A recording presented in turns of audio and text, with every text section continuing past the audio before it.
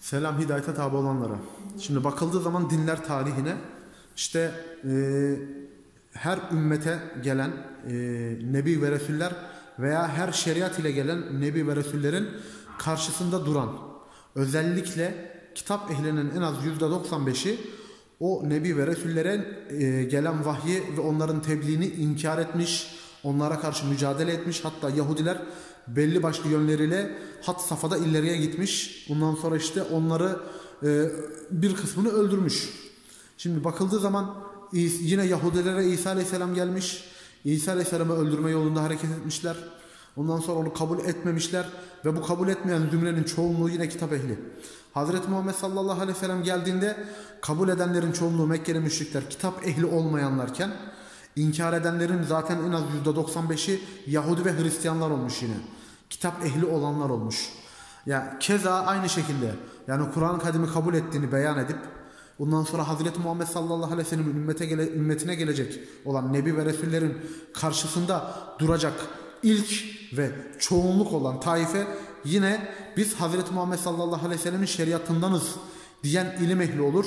Bunun en kallavi ispatı ise İsmaila cemaatinin bizimle lanetleşmeye gelme teklifidir.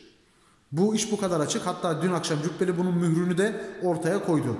Nasıl koydu? Sahabe Hazreti Muhammed sallallahu aleyhi ve sellemin nüvvet mührünü yedi şekilde tarif etmiş. Aynel yakin gördüğünü izahını yaparken bir rivayette diyorlar ki Hazreti Muhammed sallallahu aleyhi ve sellemin nüvvet mührü güvercin yumurtası veya keklik yumurtası gibi kırmızı tırak bir ukde idi. Ama dün Şifa-i Şerif sohbetinde Cübbeli Ahmet İsmaila Ullama heyetinden aldığı fetva ve İngiliz kraliyet ailesinden aldığı fetvaya dayanarak dedi ki Hazreti Muhammed sallallahu aleyhi ve sellemin nübüvvet mührü işte deve kuşu yumurtası gibi ondan sonra etrafı da kıllarla sanki hat, e, hatla yazı yazılmış gibi çevrilidir dedi. Yani olay bu kadar açık. Bir de şu var e, onu da söylemem lazım. E, gerek İsmaila cemaati ve özellikle Cübbeli Ahmet yani e, bakıldığı zaman Ebu Cehil elinde kitap olmayan biriydi. Firavun elinde kitap olmayan biriydi. Bunlar ellerinde kitap olduğu halde. Firavundan ve e, Ebu Cehil'den fersah fersah önde e, münafıklık ve müşriklik ortaya koyuyorlar. İnsanlara zerk ediyorlar. E, hatta ve hatta şu şöyle bir olay var.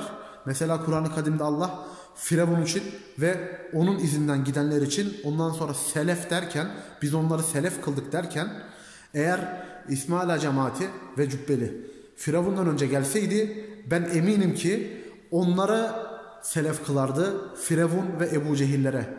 Bu aziz ve celil olan, Allah'ın fazla dilediğine verir. Allah büyük fazlın tek sahibidir.